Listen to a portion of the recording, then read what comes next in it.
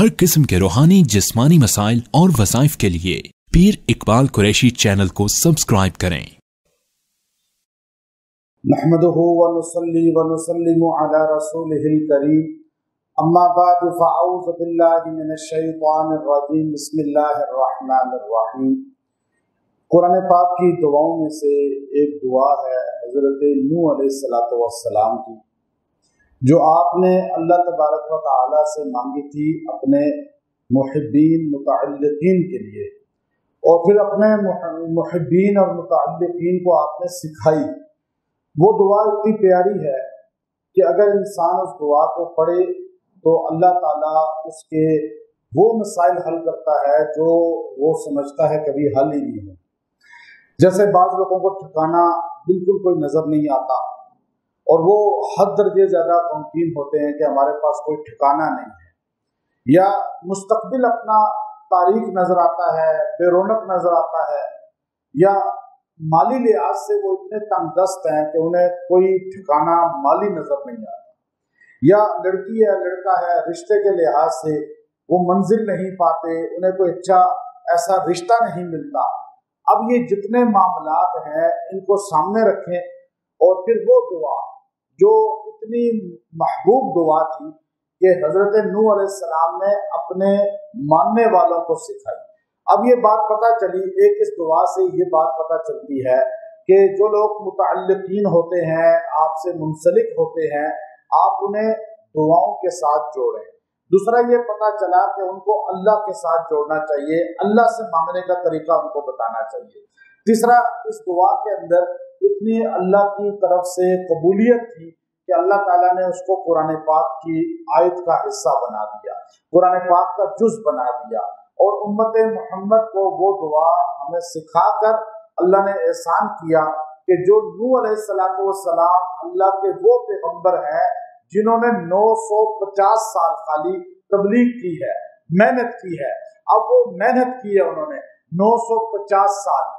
مارے کھائی ہیں، گالیاں سنی ہیں، لیکن تیرہ سو سال عمر پانے والا یہ ضعیف پیغمبر، بوڑھا پیغمبر جو رو رو کر اتنے روئے کہ ان کا نام ہی نو پڑ گیا۔ نو نو کہتے ہیں نوحا یعنی رونے والا۔ ہر وقت روتے تھے روتے تھے۔ کس کے لیے؟ امت کے لیے۔ اور وہ چند لوگ آپ کی نو سو پچاس سال میں مسلمان ہوئے جن کی تعداد اسی پچاسی سے زائد نہیں تھی۔ اب آپ نے جب ان کو اپنی کشتی بنائی، اللہ تعالیٰ نے کہا، یہ کشتی بناؤ آپ اور جو آپ کے چاہنے والے ہیں وہ اس میں سوار ہو جائیں۔ اب وہ کشتی بنائی آپ نے۔ کشتی بنا کر اور آپ نے فرمایا، آ جاؤ، جو میرے ماننے والے ہیں، چاہنے والے ہیں، تو آپ کے ماننے والے اس کشتی میں بیٹھنا شروع ہو گئے۔ آپ نے فرمایا گویا کہ آپ نے دعا کی ہے۔ اور آپ نے جب دعا کی تو آپ کے متعلقین جو محبت کرنے والے آپ کی امتی تھے، انہوں نے بھی وہ دعا پڑھنی شروع کی، جو اللہ تعالیٰ نے سورہ مومنون کی آیت نمبر انتیس میں نازل فرمائی۔ اور ہمیں اس میں سکھلا دیا کہ انہوں نے کشتی پہ سوار ہوتے ہوئے کیا دعا کی۔ علامہ روح البیان جو ہے جنہوں نے تفسیر روح البیان لکھی، وہ فرماتے ہیں اس میں اللہ تعالیٰ نے اتنی تاثیرات رکھی ہیں کہ یہ دعا کشتی میں بیٹھتے ہوئے پڑھی اللہ کے بیٹھتے ہوئے پڑھی پڑھنا دعا نہیں ہے یہ سفر کی۔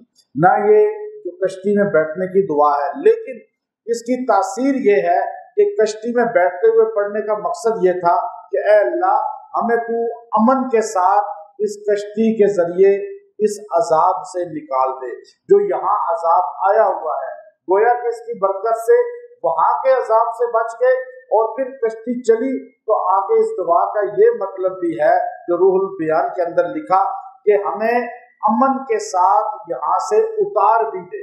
اب امن کے ساتھ اتارنے کا ذکر بھی آ گیا اس کے اندر پنہا۔ اب ایک دعا ہے، اس کے کئی معنی کئی چیزوں میں وہ کیسے شامل ہو سکتی ہے؟ بعض لوگ یہ سوچتے بھی ہیں کہ دعا کا مطلب تو یہ ہے، لیکن آپ نے کہا کہ رشتہ نہیں مل رہا۔ آپ کہہ رہے ہیں، کوئی ٹھکانہ نہیں مل رہا، کوئی نوکری نہیں مل رہی، کوئی زندگی کے اندر سکون نہیں ہے، زندگی خوشحال نہیں ہے تب دستی ہے۔ ہر چیز میں بے منزلے ہوئے ہوئے ہیں بٹک رہے ہیں اور انسان اپنی کوششوں میں لگا ہوا ہے، لیکن کچھ حاصل نہیں ہوتا۔ تو روح البیان کے اندر آپ نے فرمایا حالانکہ آیت کا معنی یہ نہیں ہے کہ کشتی میں بیٹھتے ہوئے امن حاصل کرنا اس عذاب سے اور پھر آگے اترنا امن والی جگہ پر اور امن کے ساتھ کشتی چلی جائے، طوفان آ رہے ہیں اور پانی کو کس طرح کشتی کو ہر طرف جوڑ رہا ہے اور ہوا جو ہے وہ اس کو جو جوڑ رہی ہے، لیکن اس میں ڈوبنے کا خدشہ بھی ہے۔ لیکن دعا کا پنہا جو مانی ہے وہ یہی ہے جو روح البیان کے اندر پھر اور بھی پریشانیوں کا ذکر اس میں ہے کہ ہماری نسل کو بھی ختم نہ کرنا۔ یعنی نسل بھی انسان کی ختم نہ ہو۔ وہاں بیاسی آدمی تھے، وہ ختم ہو جاتے، کائنات میں سے انسانیت بھی ختم ہو جاتی۔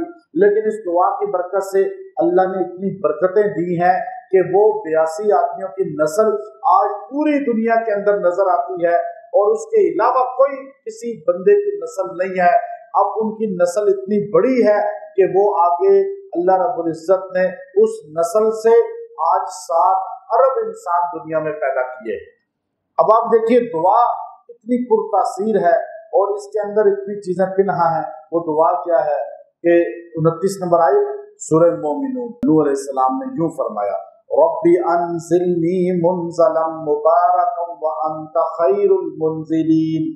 اب یہ دعا ہے اتنی چھوٹی سی۔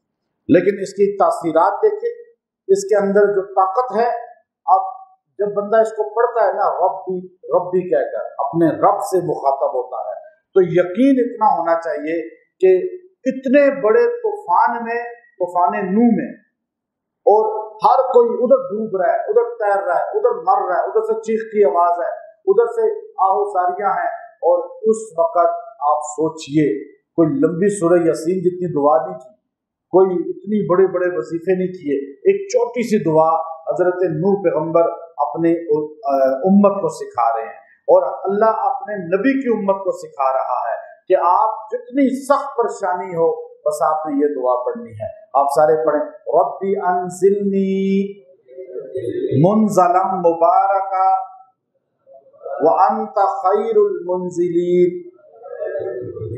اب جب آپ کوئی سفر بھی کریں کہیں بھی سفر کرنے لگیں تو آپ ایک بار اس کو پڑھ لیں۔ جہاز پہ بیٹھ رہے ہیں، گاڑی پہ بیٹھ رہے ہیں، ٹرین پہ بیٹھ رہے ہیں بری جہاز میں بیٹھ رہے ہیں، موٹر سائیکل پہ بیٹھ رہے ہیں، سائیکل پہ بیٹھ رہے ہیں۔ آپ گھر سے نکل رہے ہیں کسی کام کے لیے، پڑھ کے ایک بار چلے جائیں۔ اللہ آپ کو برکت کے ساتھ لے کے بھی جائے گا اور آفیت سے واپس بھی لائے گا۔ اور پھر اگر کوئی آدمی، جیسے ہمارے اکثر لوگ تبلیغ کے لوگ سفر کرتے ہیں، کوئی اور دینی کاموں کے لیے سفر کرتا ہے۔ تو وہ یہ جب نکل رہا ہے تو یہ پڑھے۔ کیونکہ گرو پیغمبر نے اس موقع پہ پڑھی ہے جب آپ کی تبلیغ نو سو پچاس سال چلی اور پھر آپ نے یہ دعا کی۔ تو اللہ اس میں بھی آپ کو برکت دے گا۔ آگے آپ کی بات کی بھی تاثیر اللہ رکھ دے گا۔ پھر آپ کا کوئی بھی منزل نہیں مل رہی، چاہے وہ مالی لحاظ سے، رشتے کے لحاظ سے، مستقبل کے لحاظ سے کوئی خیر نہیں مل رہی۔ تو آپ اس کو اکیس دن تک ستر مرتبہ روز پڑھ کے دعا کریں۔ اللہ تعالیٰ آپ کے وہ معاملات سیٹ کر دے گا اچھا بہترین اللہ انتظام کر دے گا۔ کسی پریشانی میں ہے، کوئی منزل چاہتے ہیں، کوئی مقصود ہے آپ کا خاص، تو آپ اس کو اکیس دن اس طرح ستر بار پڑھیں۔ آپ کو اللہ تعالیٰ خیر المنزلین، یہاں جب آخر میں کہیں نا خیر المنزلین، تو وہاں تصور اپنے کام کا کریں۔ اور پھر آخر میں دعا بھی کریں اسی طرح۔ پھر زیادہ تعداد پڑھیں چلتے پھرتے پڑھیں آپ کو اللہ تعالیٰ کبھی ایسا نہیں کرے گا کہ آپ بٹک جائیں۔ اب لوگ بٹکتے ہیں، کاروبار میں بٹکتے ہیں لوگ صحت کے معاملات میں بٹکتے ہیں، تو اپنا کوئی رزق کا انتظام کرتے ہیں، اس میں بٹک جاتے ہیں، گمراہ ہو جاتے ہیں جیسے اس میں ان کو نقصان ان کو دھوکا شروع ہو جاتا ہے۔ اور یاد رکھیں، معاملات لین دین میں خاص طور پہ اس کو پڑھ لیں، آپ کو اس دھوکے سے اللہ بچا لیں گے۔ یہ دعا اتنی تاثیرات رکھتی ہے کہ دعا چھوٹی سی ہے، لیکن اللہ تعالیٰ نے حضرت نو علیہ السلام والسلام کو اور آپ کی امت کو، پھر اللہ نے نبی کریم صلی اللہ علیہ وسلم کو یہ قرآن کی شکل میں عطا فرمائی اور آپ کی امت کو دعا کی شکل میں عطا فرمائی۔ اور یہ دعا آپ اس کو اپنا معمول بنا لیں۔ جو اس کو چلتے پھرتے، اٹھتے، بیٹھتے کثرت کے ساتھ پڑے گا، اس انسان کو کبھی دنیا میں کوئی بھی دشواری نہیں ہوگی۔